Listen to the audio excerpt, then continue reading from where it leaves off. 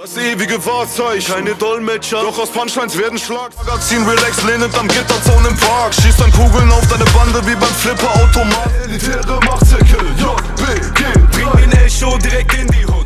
Auf meiner Liste. Doch es ist lange nicht vorbei, den Beamten trifft das Blei und als JBG kann man... Was geht ab Leute, willkommen bei mir auf dem Kanal zurück. Heute kümmern wir uns mal nochmal um die JBG 3 Nachwuchsbox, Platin war gestern Box, kann man sagen. Und ähm, mittlerweile sollten auch zwei DVDs von JBG 3 rausgekommen sein. Die Box an sich hatte ich noch nicht gemacht. Kann vielleicht sein, dass ich mal noch mache, aber eigentlich nicht, weil ich habe es nicht komplett äh, bekommen mit allen Sachen und deswegen wollte ich das eigentlich nicht zeigen. Die habe ich mir jetzt immer noch äh, geholt. Äh, bei Amazon ist es glaube ich noch ein paar Stück sind noch vorhanden für 45 oder 50 Euro. Ich habe sie für relativ wenig Geld bekommen. Aber die wurde halt schon mal ausgepackt. Ähm, aber das finde ich jetzt nicht ganz so schlimm. Jo. Relativ schwere Box. Also ich bin echt gespannt, was so drin ist. Dann habt ihr hier nochmal Banger Music, Adobe, Kit etc. Die Dev Shop, die ganzen Sachen, was Kollega und Fari zusammen haben.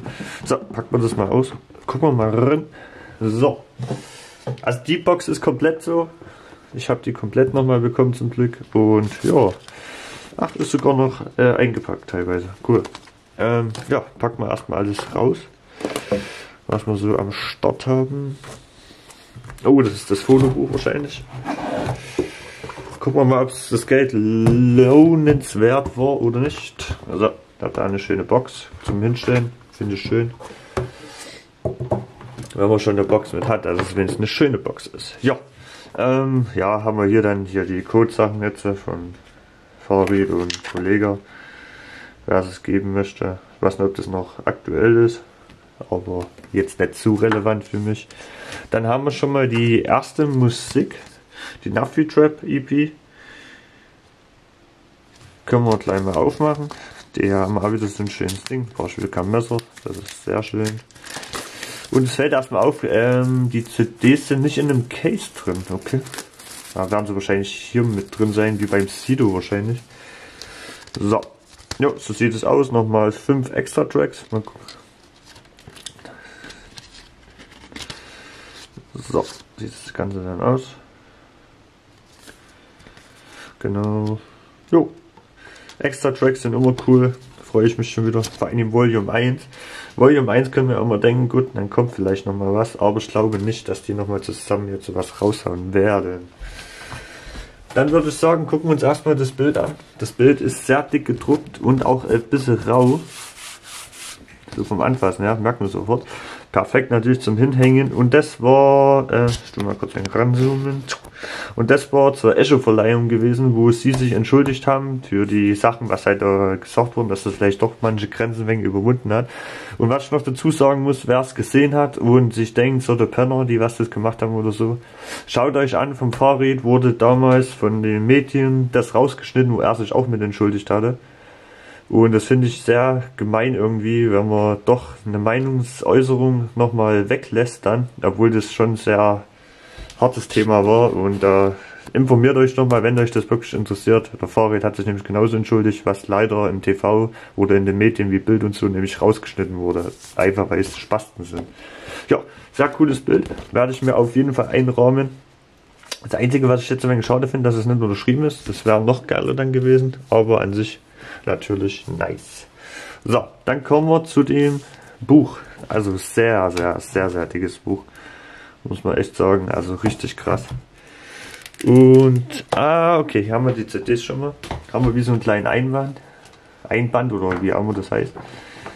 Einmal mit Instrumentals und einmal mit Dings. Finde ich auch gut, dass das nochmal extra geschützt ist. Das Einzige, was ich sagen muss, ähm, was ich an den Dingern nicht so toll finde, dass das natürlich nicht ewig halten wird. Gehe ich mal ganz stark davon aus. So, gucken wir mal kurz, was hinten noch mit drauf ist. Ob da auch noch was zu sehen ist. Nö. Haben wir hier nochmal Death Shop und Banger Zeug, was auf der CD an sich auch drauf ist. Das ist leer. Schwarz gehalten. Finde ich gut so. Ja, das ist natürlich ein riesiges Buch, ne? Also so ein Fotodruck, die ganzen Sachen. Ich zeige es euch jetzt heute mal aus dem Grund, weil das natürlich jetzt äh, entweder nur noch minimalistisch erhältlich ist. Und da kann man natürlich mal etwas reinblättern.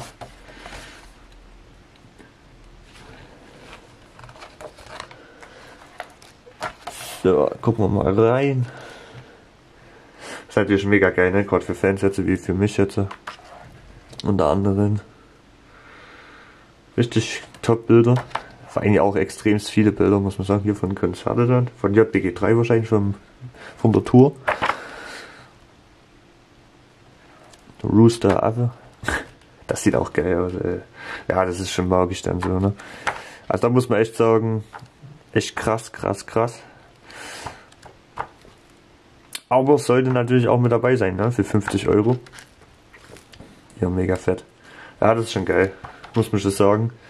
Gerade für Fans ist es natürlich richtig geil. Wenn ihr das natürlich wollt, dass ich das nochmal komplett mit euch angucke oder so, haut es mir gerne in die Kommentare rein. Wenn ihr die Chance nicht hattet, das zu sehen, dann mache ich das gerne nochmal extra für euch. Aber die CDs halten dagegen, das wundert mich gerade. Ja, die CDs, die brauche ich jetzt nicht auspacken.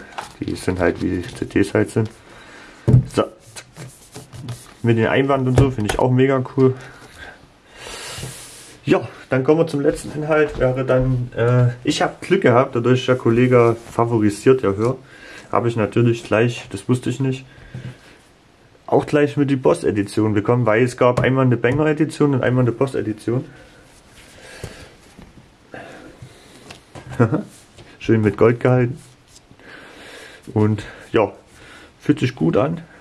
Äh, schwerer, schwerer Stoff, meiner Meinung nach. Und ja, an sich, wie gesagt, muss man halt aufpassen, gerade mit den Sachen, ne, dass es immer andersrum waschen tut, dass da nichts passieren kann. Und ja, ich werde es jetzt äh, diesmal wieder nett anziehen, weil ich persönlich äh, heute nicht ganz so gut drauf bin. Also mir geht es heute nicht ganz so gut, aber ich wollte es jetzt für euch noch mit abfilmen. Aber wie gesagt, ihr seht es ja da drauf. Wie gesagt, das ist das Zeichen Alpha Empire. Genau. Ja, haben wir einiges mit dazu, muss man sagen. Die Sache, was man aber sagen muss, gut, mit dem Fotodruck und so, das kostet natürlich eine Menge Geld, aber 50 Euro kann man dann sehen, wie man will. Hätte vielleicht da 45 gereicht dann, aber so an sich ist natürlich schon eine geile Box, muss man sagen. Wie gesagt, wir haben dann insgesamt, ja, wie viele Tracks haben wir denn dann überhaupt drin? Kann ich euch jetzt gerade gar nicht sagen. Steht ja nirgendwo, oder? Nö. Das steht nirgends, wie viele Tracks da überhaupt auf den Album dann sind. Das finde ich ein wenig doof dann, wenn du gar nicht weißt, wie die Tracks überhaupt heißen. Hä? Ich werde euch auf jeden Fall, wenn ich das Video schneiden werde, werde ich euch dann nochmal die Trackliste nochmal reinhauen, dass ihr dann nochmal Bescheid wisst. Aber ihr habt es gerade gesehen, die CD hat schon angefangen mal runter zu blättern. Das ist halt so vom Nachteil. Ja, wird gern wissen, was ihr davon haltet. Ich finde die an sich cool, die Box. Wie gesagt, hätte vielleicht auch ein bisschen günstiger sein können. Aber so jetzt an sich ist es schon trotzdem mehr wert wie manche andere mit ihrem nicht vorhandenen Booklet. Beziehungsweise wenn halt bloß so ein Mini-Mi-Booklet ist und so ein großes Fotoalbum mit der Qualität sollte auch was kosten, das ist klar. Und von daher haut rein, meine Lieben, euer Mimilux One. Tschüss.